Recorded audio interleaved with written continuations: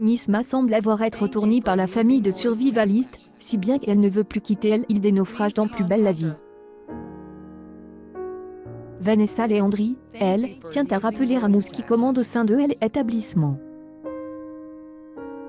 Boy laisse Karim entre les mains de son suspect mais le père des Abdel, Marwan Beroni, est apprête à faire une connerie alors elle inspecteur intervient et elle individu, est emmène au commissariat. Sur place, il accuse le duo de elle avoir intimide et elle avoir force à passer aux aveux. Sur elle, il des naufrages, la femme de Francis confie des explosifs à Nisma, elle Philippe, qui a une vision des Abdel.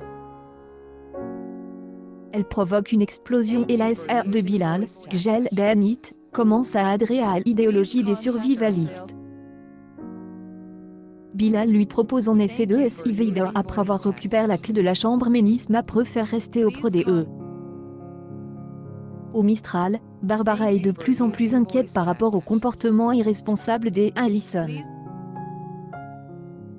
Vanessa Léandri, Julia Diochossoy, enregistre Mousse, Boubacar Kebo, pendant qu'il critiquait sa CPE face à Betty.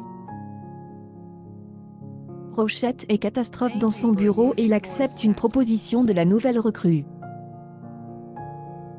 Ainsi, Mousse est présent au code du duo pour faire repentance et se soumettre à l'autorité de la CPE.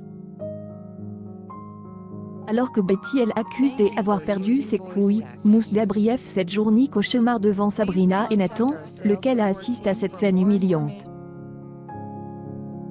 Le cas de la CPE divise.